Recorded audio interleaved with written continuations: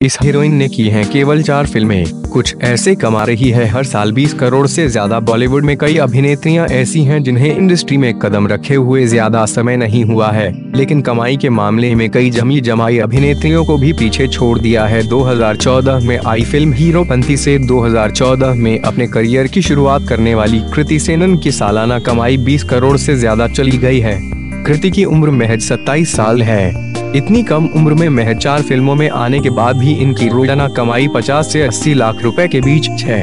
पिछले साल आई फ़िल्म बरेली की बर्फ़ी में लीड रोल करने के बाद कृति को लोग जानने लगे। इसके बाद इनके पास फ़िल्में तो काफ़ी कम आई, लेकिन ज़्यादातर कंपनियों ने अपनी ब्रांड अम्बेसडर बनाना शुरू कर दिया है। कृति फ़िलहाल पंद्रह कंपनियों के लिए ब्रांड प्रमोशन कर रही है।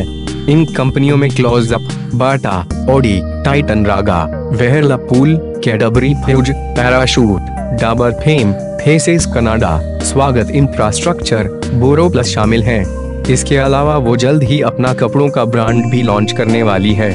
कृति को कंपनियाँ इसलिए पसंद कर रही हैं, क्योंकि इनके साथ अभी तक किसी भी तरह का विवाद नहीं जुड़ा है। वहीं इनके चेहरे को आम आदमी के साथ साथ खास भी जुड़ा हुआ महसूस करता है।